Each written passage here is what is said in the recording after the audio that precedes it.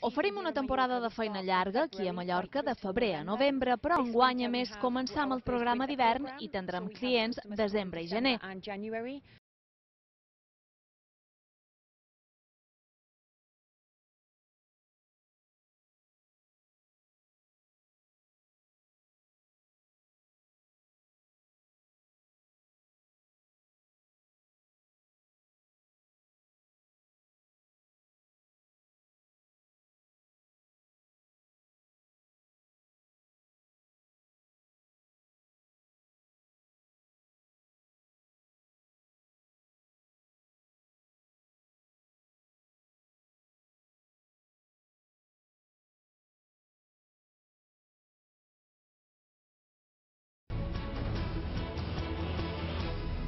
L'Ajuntament de Palma invertirà 1,6 milions d'euros procedents del Dissalt Consorci de remodelació de la zona turística per diversos projectes de millora urbanística.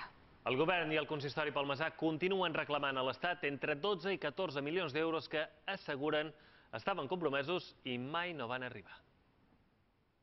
El milió 650.000 euros procedents del desaparegut Consorci de Remodelació de la platja de Palma aniran destinats a finançar sis projectes.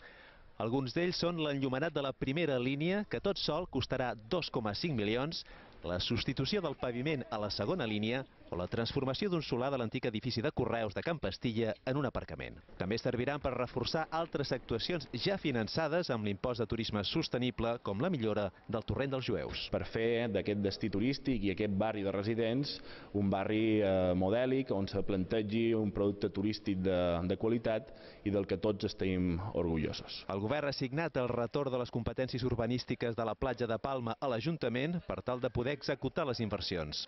Les dues institucions segueixen reclamant a l'Estat entre 12 i 14 milions que mai es van invertir a la principal zona turística de les Balears.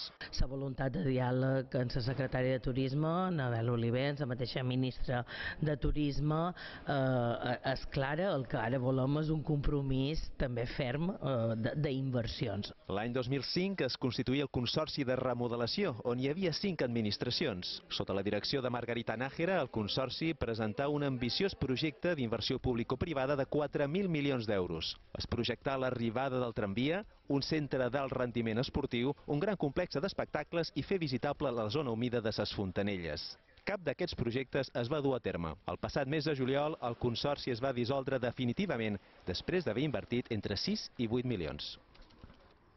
Associacions de veïns i hotelers de la platja de Palma són escèptics per igual amb futures inversions a la zona. Asseguren que estan cansats d'escoltar promeses que després no s'han complit i de veure com el consorci que havia de transformar aquesta zona madura va fracassar.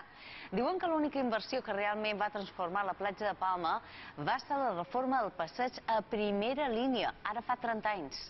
De llavors ençà asseguren que no s'ha tornat a fer res més important per millorar la zona.